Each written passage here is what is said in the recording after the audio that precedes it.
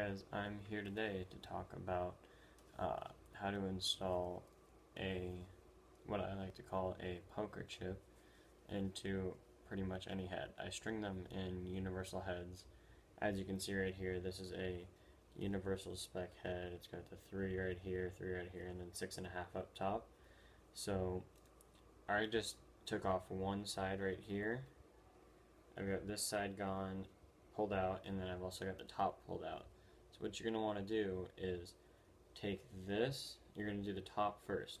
I like to take my top string and it's going to be a little difficult because you can see it's just I didn't really I just melted the tip it's going to be kind of difficult if you don't do this or what I like to do is um, melt the tip a little bit so it's hard so I can kind of feed it through like a needle and that makes it easier when feeding it through these top leathers right here because if I can get it the right angle like that's gonna be really tough to fit through unless this is really tight or really uh, hard. It'll just bend and not go through. So let me just melt these real quick. I'll change the camera angle for you guys so you can see it. Let's see. Think that should be good. Back a little bit. Alright cool. So as you can see, I'm just going to melt these real quick.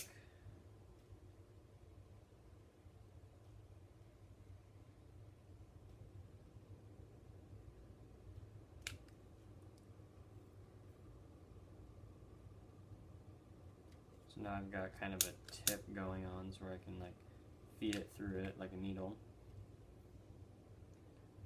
So see now it's nice and right here I've got like maybe a quarter of an inch, doesn't bend. So that's all I'll need for that. So now let's show you how to attach these. So as you can see there's some loose strings going on over here just like this that that's fine just leave that for now just make sure that ends up on the bottom when you put this in so first thing I'm going to do is take this head and I'm going to feed it through the hole it's going to be a, it's called the teardrop top string by the way it's what um, Allstar shows you how to do it's fairly simple. So as you can see I have many top string holes through here. I'm going to go ahead and use this one. So first I'm going to take this and just send it right through to the front. Make sure it's nice and tight. And then I'm going to make sure that my leathers are my leathers are in front. And I'm going to let me see if I can make this so you guys can see it. I'm going to put it into here and push it in and pull it nice and tight. So now it's through the leather and I'm just going to pull it down nice and tight and this is called the teardrop because the next thing I'm going to do is move this a little bit, turn it around and feed it back through that same hole and making sure that this leather is up tight against the wall or yeah against the top of the head at the same time. I'm just to pull it nice and tight Let's see. Make sure it doesn't like bunch up or anything, and it's okay if it kind of widens out a little bit. You can fix that later on. So I'm just gonna make sure I don't block this or anything. So I'm just gonna kind of pull this nice and tight, and make sure that you kind of get it low. I kind of did it up high. You want to get it like, see how it's in the middle of that little circle? You don't want it up high like right here. You want it more like down here or even lower maybe and then once you get that you just want to take it and pull it nice and tight until it's flush against the head so you can see it has like it comes off a little bit and then it keeps the head from or the ball when you throw it. I like it because it keeps it from hitting this plastic if you want less whip.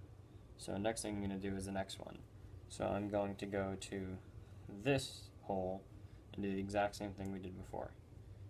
I'm just gonna feed it right through here pull it out make sure it's nice and tight. I like to hold it with my thumb just put some pressure on there so it doesn't make this one become loose. So I just hold it tight and now I'm going to feed it through this one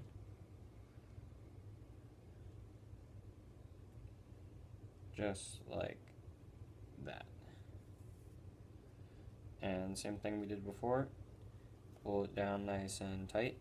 And these ones will kind of already have like a little notch made for the top string just because I've done this when I attached it, like when I uh, made the pocket.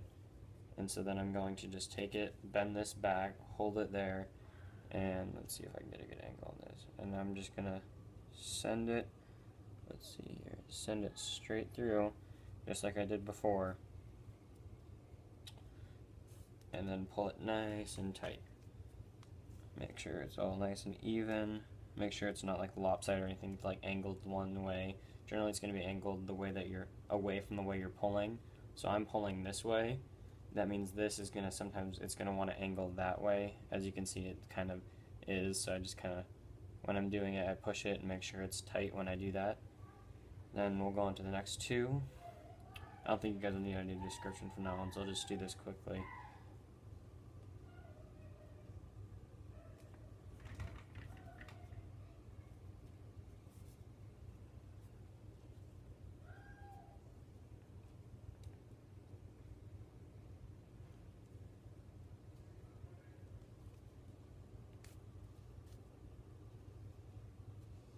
So that one's nice and tight. I want to leave that. And now I'm going to do the last one. I'm just going to feed it through right here. Sorry if my hands block it. It's really hard to do this without putting my hands where I need it to be. And that's the only way you can really see it.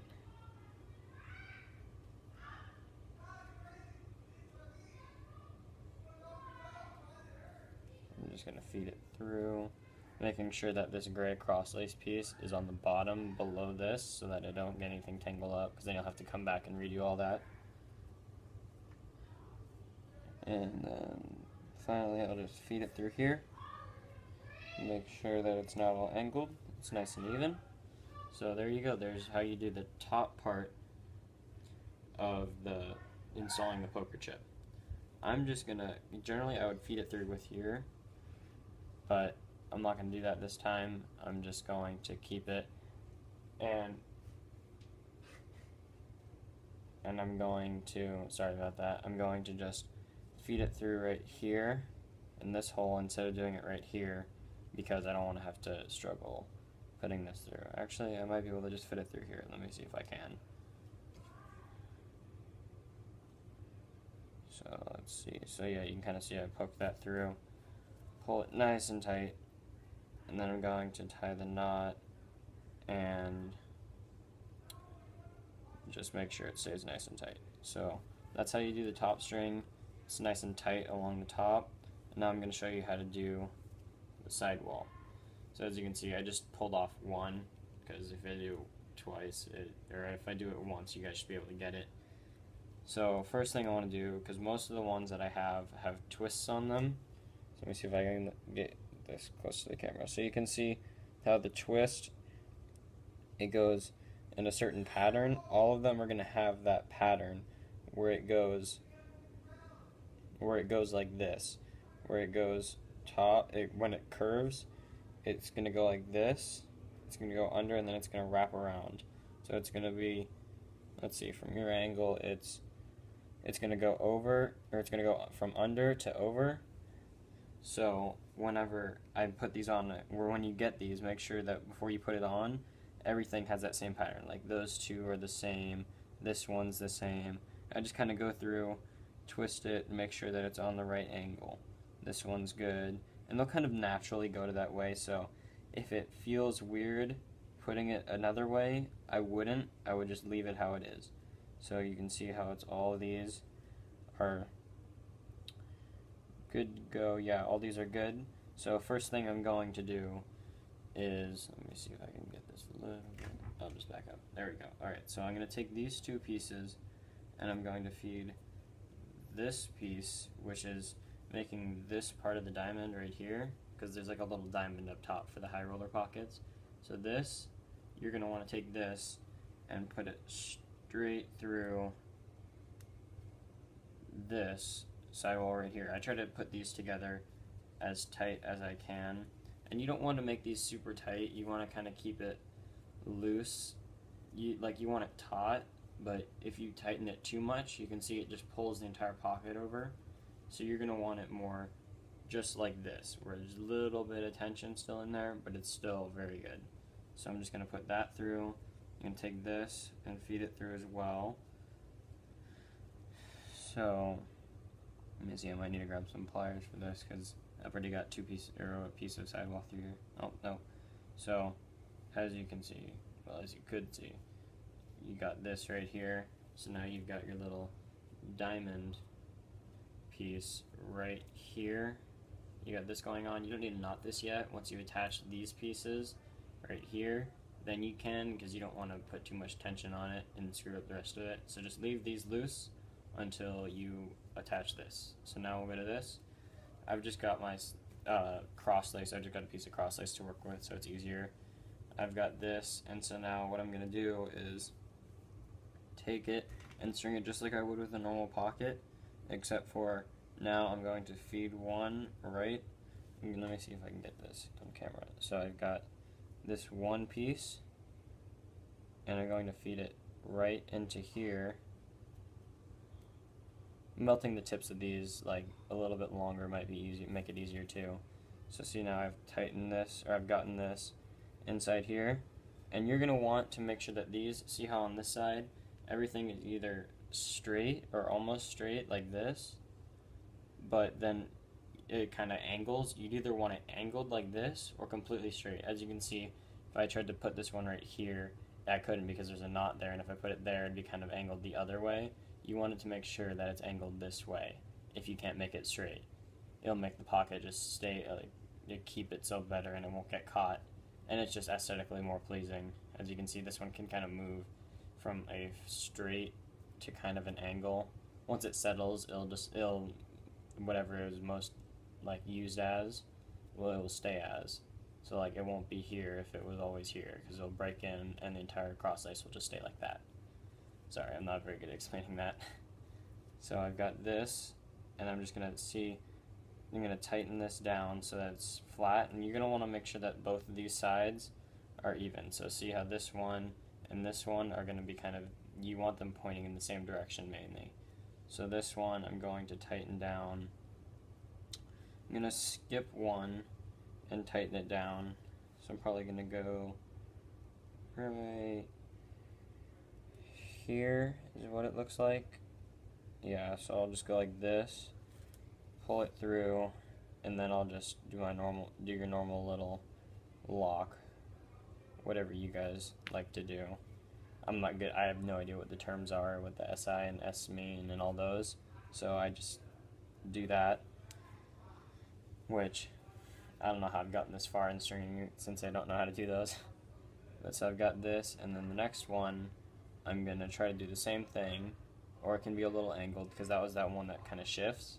So I'm to do the same thing, making sure that this is in the correct like twisted position and going to send it right through here, pull it through, making sure to make making sure that nothing gets all messed up when I pull through. And then this is going to be another skip, so I'm just going to send it through like I normally would just stick it right through here and pull it through and making sure that these are nice and tight because you don't want to have anything shifting other than the cross lace a little bit because if you have this shifting then it adds another variable in which you don't want. So then next I'm going to make sure that this one's twisted properly, which it is, and let's see, I'm just using the other side as a guide. Okay, so I'm just going to take this and send it through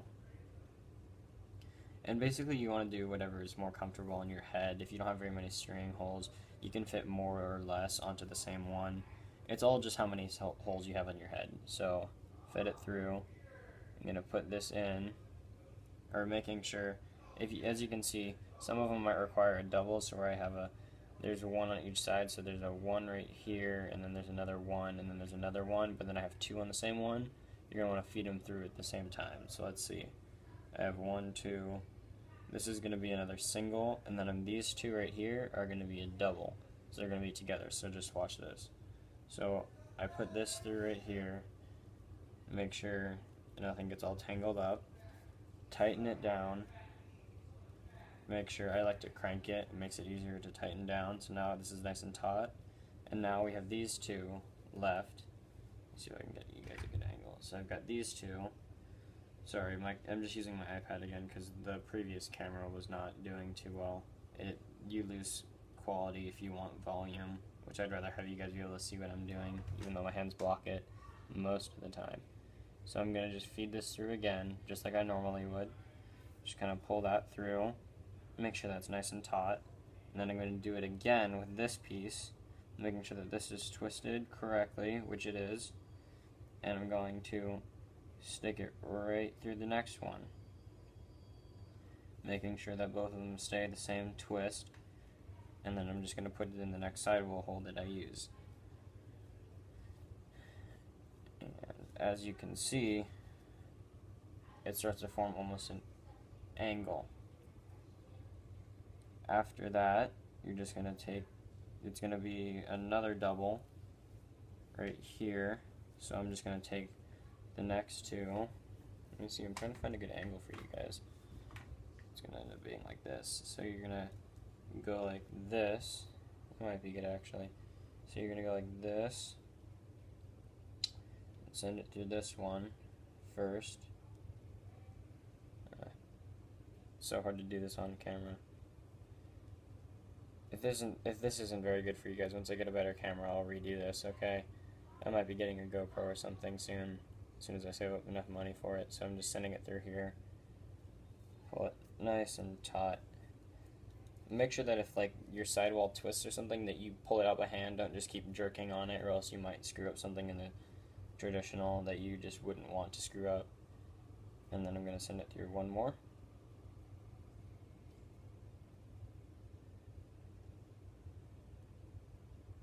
Just like this.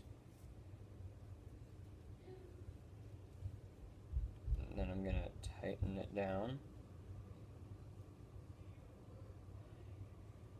And pull itself through. See, it did me a little trouble. Alright, so, oops. So you're just going to take it, send it through, pull it nice and tight. And then you just got one more. This one is just going to be a single by itself. So I'm just going to send it through. Put it, send it through, I mean, put it down into the sidewall. Pull it through, make sure it's nice and tight. And then I'm going to just send it through right here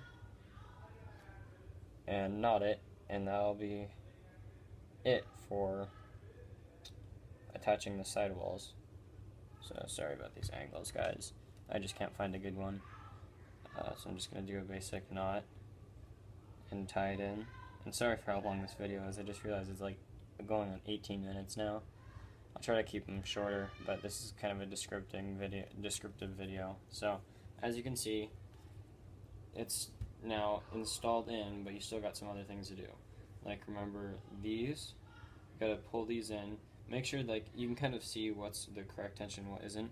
You don't want this kind of pulled too far over like that. You want to make it so where this is just kind of even with the rest of it. You can see what's natural. So I've got these right here, and then you're just going to knot them. I'll just tie them together. Just a simple little knot.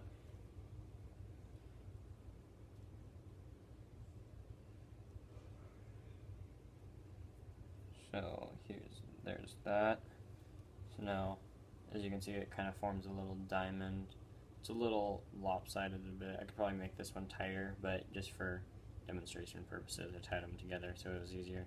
Probably pull it down like that, and then it'd be more even. And then, next step you want to do is tie in these. There's going to be two pieces down here if it's a high roller pocket, unless you want me to cut this and just make a knot and melt it so that you only have to put one through just because some people might not have as many holes. This thing has like 15 holes on the side so it doesn't matter for me. But I'm just going to do the same thing but now I have two sidewall holes so I'm just going to send one through here and then I'm going to send the other one that was on top through this one. Let me see. Oh, it's a knot angle. So then I'm just going to take these two and knot them off. So, just tie the basic knot. you want to make sure that you kind of keep a good tension, not too tight pulling the rest of it towards it. Just enough to take out any excess that this knot or this double interlock doesn't become loose. And let me tie one more with this. I like to hold it with my thumb. Generally keeps it in place very well.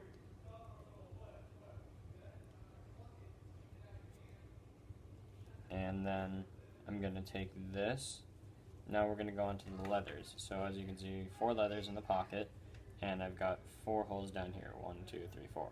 So I'm going to, and ignore this other side. It's okay about these, but I'm just going to take these, and I'm going to feed this one through first. You might need pliers for this, and you just kind of pull it through here. These these are big enough so I don't need to, and I just pull it through right here not too tight, but just enough so where there's no slack. Then I'm going to do the same with this one. The middle one. This is, and then you're just going to send it through, and make sure that you're not, you don't have like a twist in it, so it's not like this. And you're feeding it through. It needs to be flat. Okay. Generally, it'll be the rough side, not like the shiny, like the actual leather side. The back of the leather is the side that you're going to be looking at if you're doing it upside down like this. So it's going to be like this you're gonna wiggle it through and then you're just gonna pull it through until it's tight. Generally with these pockets, it's gonna be about half an inch to a quarter of an inch away. Like when I string them, I wanna keep them nice and close. And then the next one, I'm just gonna send it through. I'm just gonna make sure that it's not twisted. Send it through.